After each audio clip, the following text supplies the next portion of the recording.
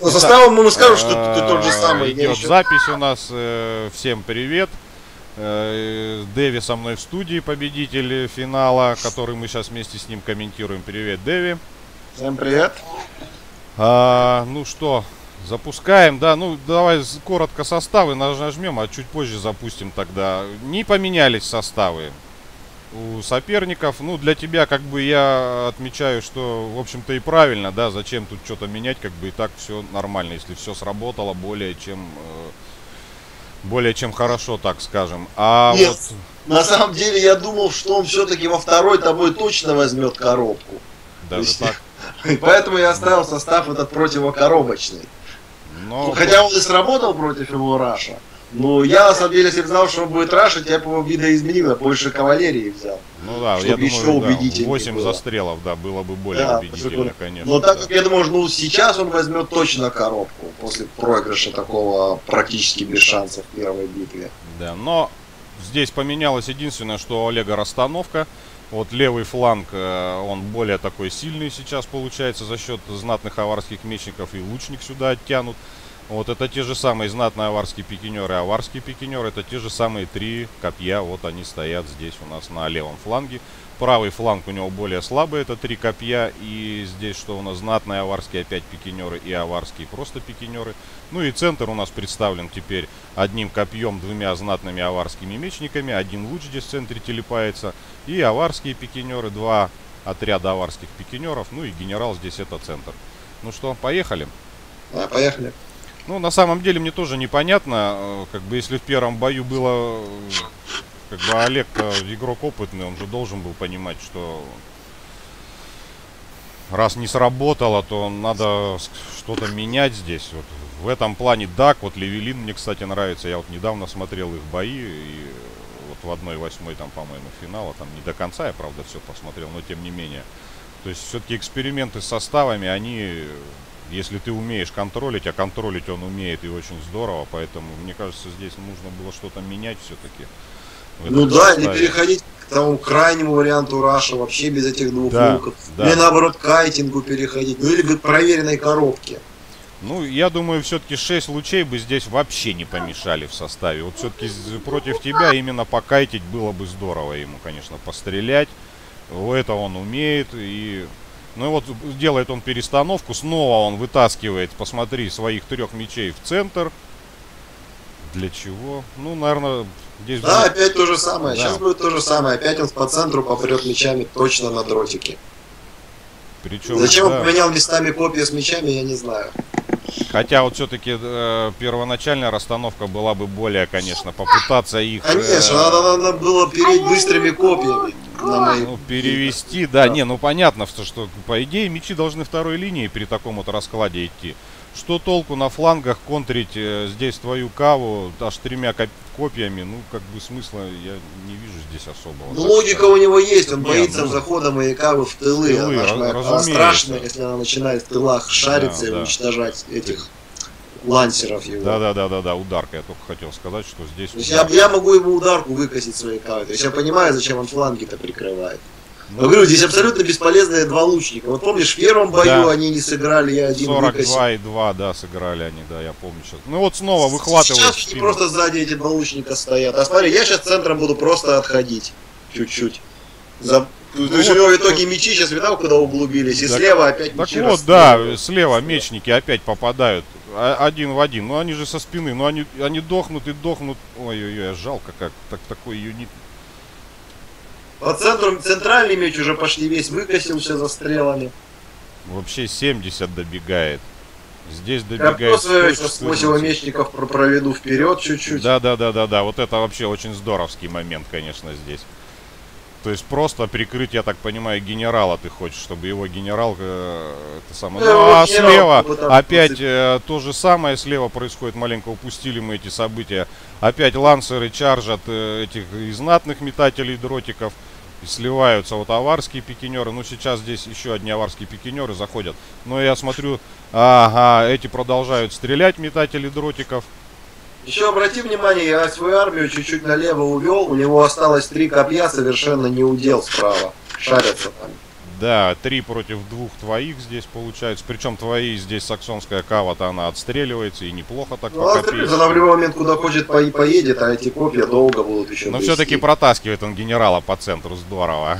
Мимо твоих да, копейщиков. я пытался его копьями поймать. Да, и чаржит он опять пустых этих метателей дротиков. пустых метателей чаржит. Да, да. Чаржит опять сквозь мечи. Угу через свои же мечи, да. Что, что мешает ну и слева у него копейщики, я смотрю, новобранцы не удела, целый отряд остался. И справа вот он все-таки заводит, он как бы окружает, да. Все-таки маневр-то удался, так скажем. Вот здесь вот более интересный бой, конечно. То есть вот эти три копья, они заходят и заходят здорово. Более того... Заходят, а в центре уже генерал, опять уже генерал. Ну, генерал опять умирает, да, у него там остается. Но вот здорово он чаржит здесь генерала твоего в спину этими знатными, причем аварскими пикинерами. Но чарж не проходит. Он хоть и в бегущего бил, но и у него, как бы, получается, не вся масса копейщиков вошла в тыл генералу. Ну и здесь, конечно, конные разведчики контрят этих аварских пикинеров, причем очень здорово. Да, и умирает у него здесь генерал, но ничего не умирает, но мигает. И у тебя получается огромный резерв такой в тылы оттянут три этих кавалерии. Одна сейчас саксонская конница, просто-запросто она может и копейщиков новобранцев, да, вот что ты и делаешь. Останавливаешь их на бегу, и причем, да, им здорово достается. Ну, новобранцы на то и новобранцы, ополчение, мы уже как-то говорили с тобой об этом. Ну, что они? Один удар, и все, и они сливаются, и вот умирает. А, вот слушай, генерал-то не умирает. Я вспомнил. Генерал сбегает, да. Да, умирает твой генерал сейчас, да, генерал, вот везунчик Олег, у него три остается, причем, что твой-то умирает, у него полтинник был, такое крайне редко да. бывает. То есть, да, в общем-то, здесь да. все за Олега было в этом бою, так скажем. Ну, если не считать там какие-то составами, да. А вот этот момент-то очень здорово, конечно. И вот он, он, Гена этот бежит аварский. Ну-ка, где они тут, эти товарищи? Да, вот они чешут. Трое их остается на белых конях, принцы. Ну и разбираешься ты со стрелками. Опять, я смотрю, не дал ты им сыграть этим стрелкам. Один 3 набил, другой 16. Конечно, это не результаты для лучников, которые, в принципе, здесь были не нужны, конечно же. Ну и вот твой резерв, я понимаю, вот этот кавный, он, конечно, сейчас дает себя знать. Ну, каву я всегда берегу на конец да, игры, когда да. все завязано, я начну чаржить. Да, да, по тылам, либо уже там в лоб. Потому что в лоб моя кава плохо чаржит, а вот сейчас в конце сейчас это все разбирает. Да, действительно. Ну и вот здесь проспал он небольшой чарж, конечно. Знатные аварские, причем опять пикинеры, бедолаги. Снова им достается, в стоячих в них вошли. То здесь это у нас конные разведчики и как бы все на этом. Да, и аварский генерал жив. вот если бы не был он жив, мне кажется, копейщики бы уже сбежали, остались бы только мечники. Да, только знатные аварские вот остались бы и все. Причем они, смотри, как здорово стоят вообще. Все-таки это юнит... Вот да, здесь в этом бою один юнит я не отстрелял. Да. Причем, что они подбежали-то уже по центру, они были уже просажены, там около сотни оставалось. Но тем не менее, вот она, эта стена щитов, и вот аварский да, меч. конечно, а на ней можно всю пехоту да, слить. Там. Да, да, да, да, совершенно. Это по типу королевских гвардейцев астурийских.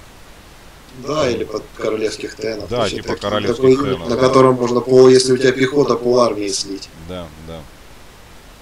Ну и все, тут э, как бы в итоге он бьется в окружении по концовке. Да, просто уже окружен здесь, конечно, здесь уже численное превосходство. Ну, а генерал твой, конечно, да, умудрился при полтиннике умереть, ну... Папа, они не повезло. Да, бегут мечи.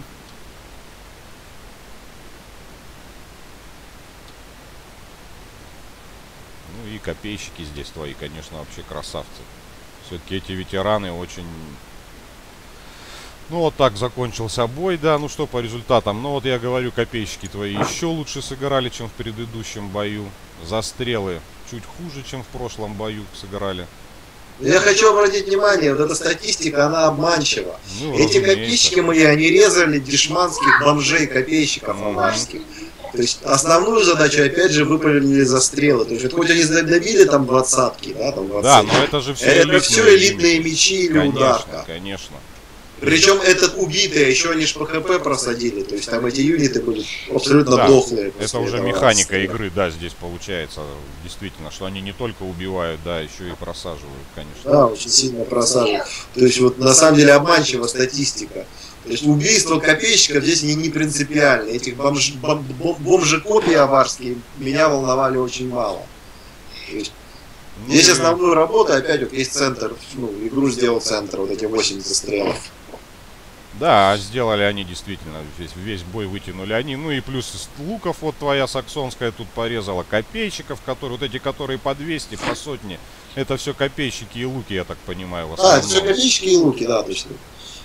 Ну, а как вот бы... юниты были убиты вот этим спамом ильтастов по центру. Да, но тем не менее, посмотри, аварские пикинеры. Раз, два отряда сыграло отлично. Два знатных аварских пикинера тоже сыграли здорово. Ну, не сыграл генерал в этот раз.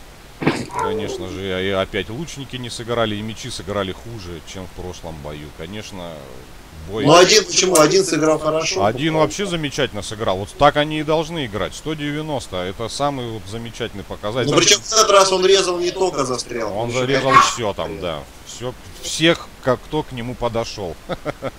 Скажем так. Вот это страшно против, вот когда играешь в Вестфалии против аваров, да, каких-нибудь. Да. Если у тебя кончились застрелы, то Ну, если всё остались да. элитные мечи у врага, то у тебя факти- у Вестфалии фактически больше Шансов нечем нету, убить да. эти элитные Да. мечи.